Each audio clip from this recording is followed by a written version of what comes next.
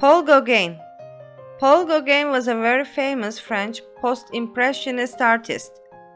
Nowadays, critics give him the credit of creating a completely new style, which is totally different from Impressionism. His works of paintings influenced many of the next generation modern painters like Henri Matisse and Pablo Picasso. Present-day art historians describe him as the introducer of synthetism style of painting. Paul Gauguin, born on the 7th of June in 1848 in Paris, France. His father, Clovis Gauguin, was a journalist. His mother, Alina Maria Chazal, was a housewife. When he was a child, his family moved to Peru. His father died on the way of the journey. After returning to France from South America, he chose to be a merchant marine.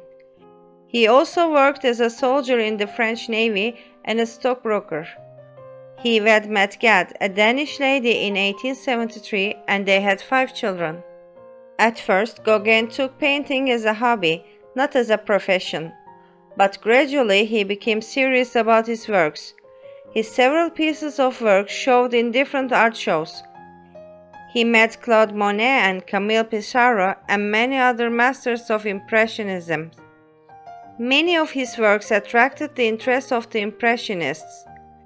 He left his job as a stockbroker in 1883 in order to be a fully professional artist. He created his most talented artwork, The Vision of the Sermon, in 1888, in which he changed the use of the traditional view of color. In 1889, he painted The Yellow Christ. Paul Gauguin was an alcoholic. He also suffered from syphilis. He was a good friend of artist Van Gogh, but their friendship didn't last very long.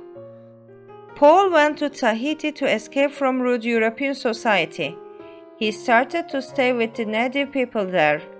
Paul returned to France to show his new artworks but couldn't win that popularity. He returned to French Polynesia and created one of his primitivist masterpieces, Where Do We Come From, Where Are We, and Where Are We Going, which earned huge fame after his death styles of the native people attracted him very much. After that, he moved to a more remote area in 1901. Gauguin died on 3rd of May 1903 at his island hut. After his death, his artworks began to win huge popularity towards critics and buyers. In fact, he is one of the great post-impressionists of that time.